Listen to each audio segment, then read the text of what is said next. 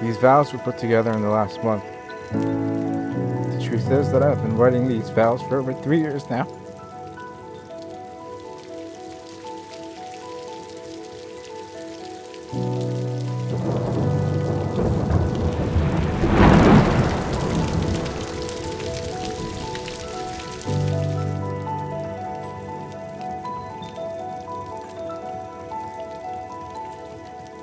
It didn't take long after meeting you for me to realize that you were a better person than me. That you were a radiant ball of joy and kindness that was missing from me. My only goal since then has been to match that and fill your life with as much beauty and joy as humanly possible because you filled my heart in ways that I thought were impossible. I know that I'm the most indecisive human on the planet, but marrying you is the easiest decision I've ever made.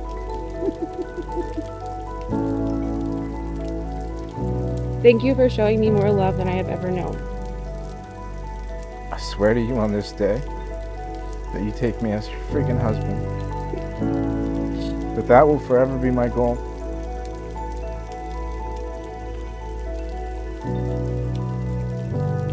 I promise to support you, listen to you, nurture you, and most of all, love you with every bit of strength that I have. I love you. I love you.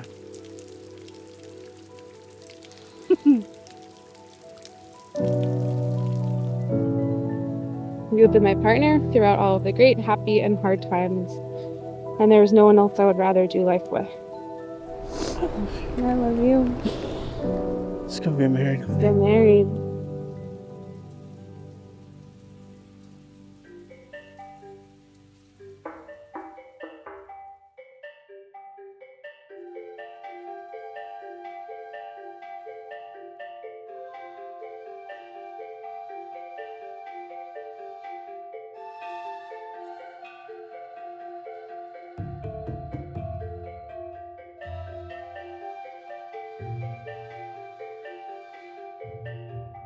There are so many reasons I love you.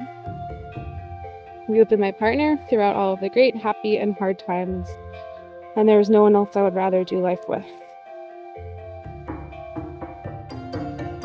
Thank you for showing me more love than I have ever known. I know life has many curveballs and adventures for us, but you were the best partner I could ever dream of, and I promise to be the same for you. Every day, for the rest of my life.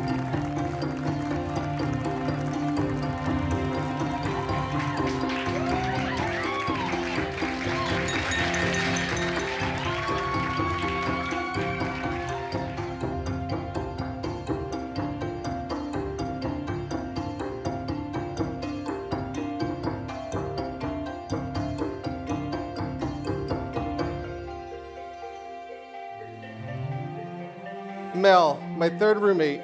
You make Oscar as happy as I make him, and that's all I can ask for my best friend. Um, Oscar and I are like souls, and I am over the moon that Mel found her person in him, the male version of me. Mel's happiness has become a source of his own, and I'm absolutely thrilled that she has found someone who roots for her like he does.